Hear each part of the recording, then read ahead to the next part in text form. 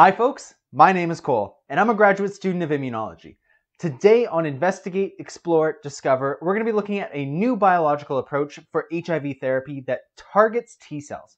So hang around with me throughout this entire video to get all of the relevant background information so that way we can dive into some exciting experimental results. Plus, if you look in the description below, there's some information on how to get your hands on a free NFT. Now, to the topic at hand, HIV. Worldwide, it is estimated that there are about 38 million people living with HIV, with the majority of them living in southern Africa and developing nations.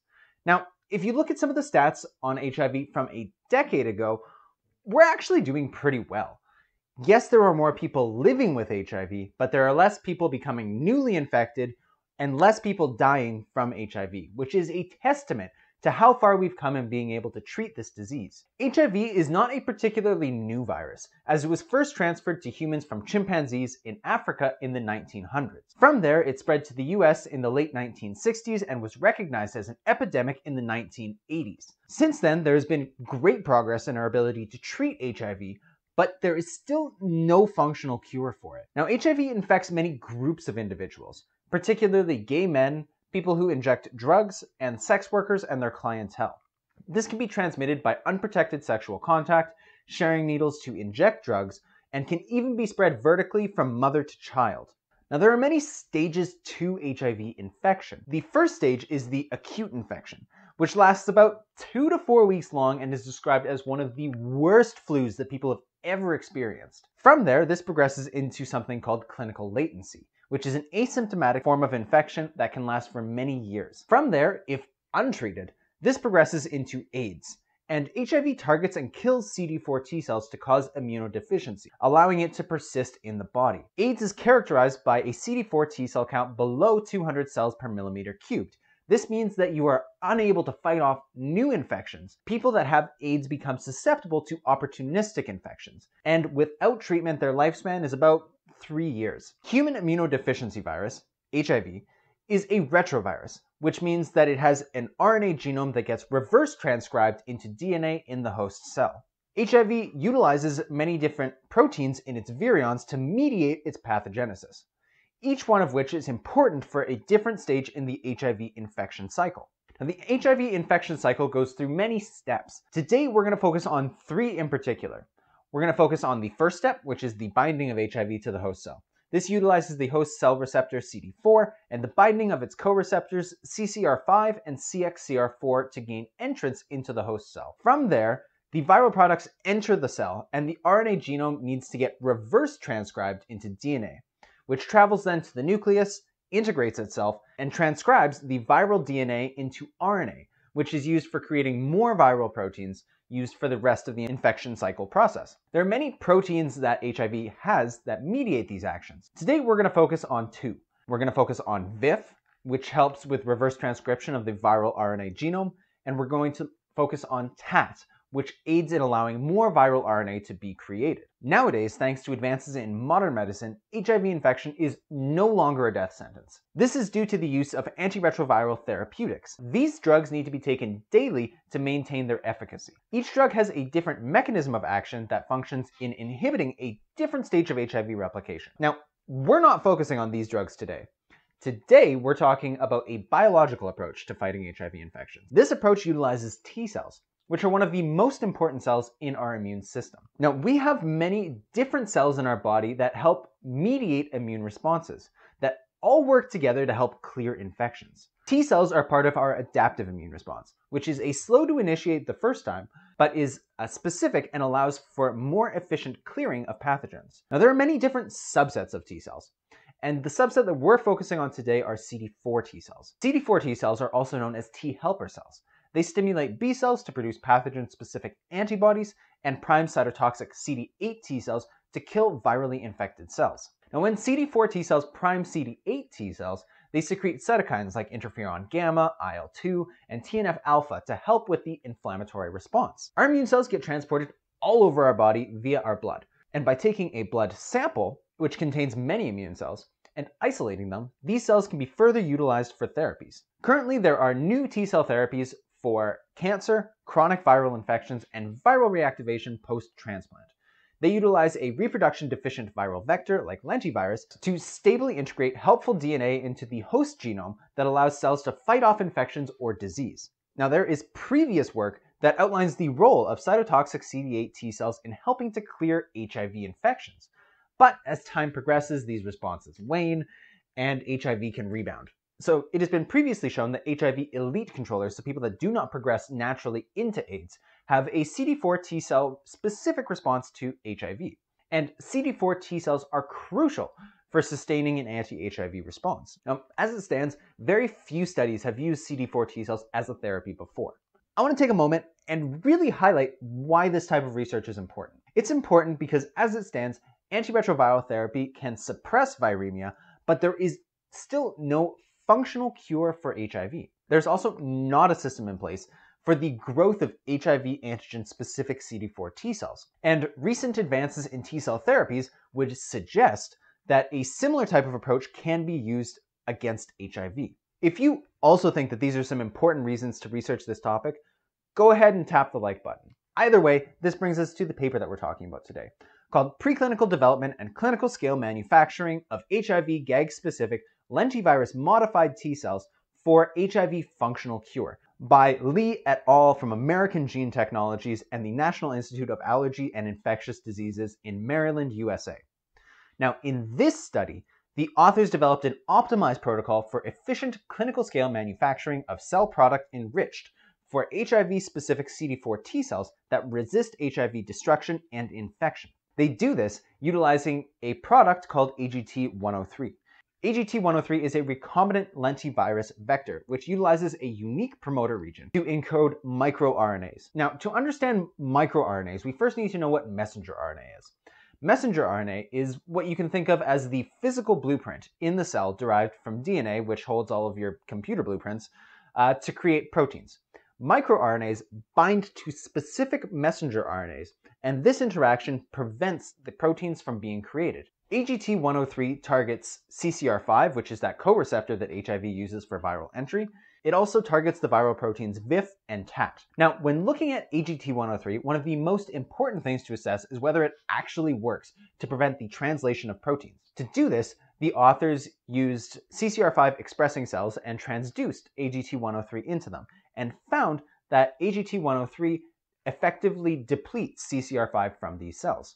They also found that this response was specific and does not target receptors that are similar in sequence like CCR2. The authors also looked at whether this affects VIF and TAT. So with cells that were transduced with AGT103 and transfected with HIV proviral vectors, which allow for creation of HIV proteins inside of the cell, they found that VIF and TAT levels were reduced in cells transduced with AGT103 the authors then assessed the ability of AGT103 to protect against HIV infection. So they took cells that can normally be infected by HIV and transduced them with AGT103. In doing this, they found that AGT103 protects against CCR5 and CXCR4 tropic HIV infections. Now, the next question that the authors had was can AGT103 be used for people that have HIV already? They found that infected cells will normally be able to infect other susceptible cells. But when transducing these infected cells with AGT103, this decreased the ability of HIV to infect other susceptible cells. They also looked at this in the context of primary human CD4 T cells. So they asked, can AGT103 inhibit HIV replication in primary CD4 cells? So cells normally infected with HIV are able to infect other susceptible cells.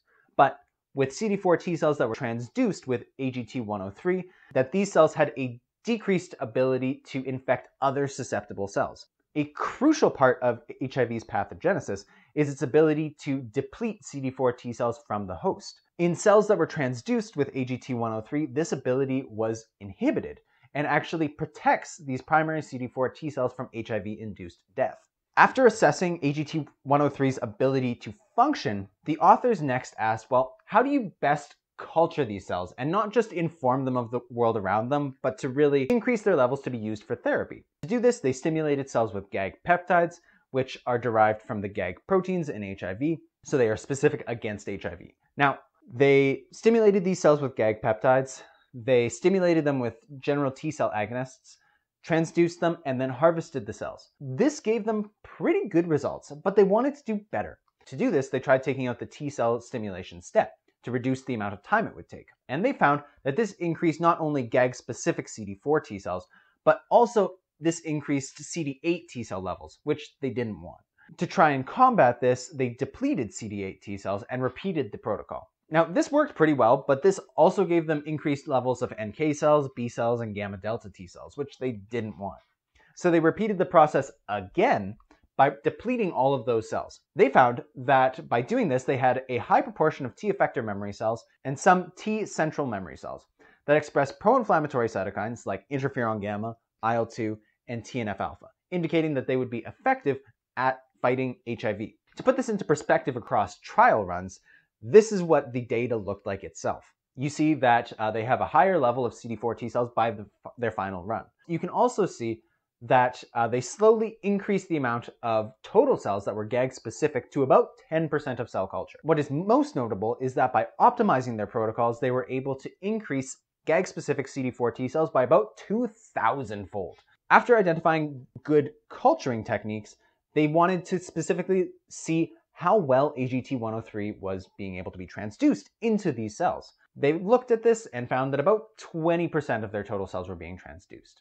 Of this 20%, 70% of them were CD4 T cells, and 50% of the total were active CD4 T cells. So that indicates that they would be effective at fighting HIV. So in their experimental process so far, they were able to isolate, activate, deplete, transduce, and expand T cells that were specific against HIV in about 12 days. However, they wanted to be able to automate this process. Now, to automate this process, they used a machine called the Clinimax Prodigy. What this machine does is it isolates, activates, transduces, and expands T cells derived from patients.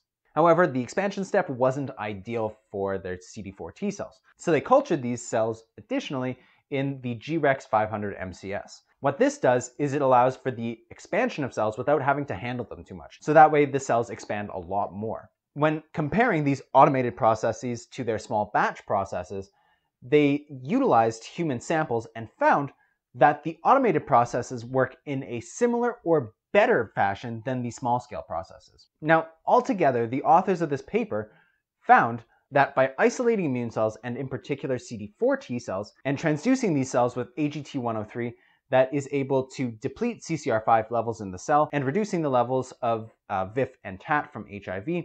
AGT103 is able to reduce the amount of cells that are able to be infected by HIV and reduce the ability of infected cells to infect other cells. The authors then found a method that is able to reliably expand these CD4 T cells across patient samples to be used for infusion back into the host for a way to fight HIV infection.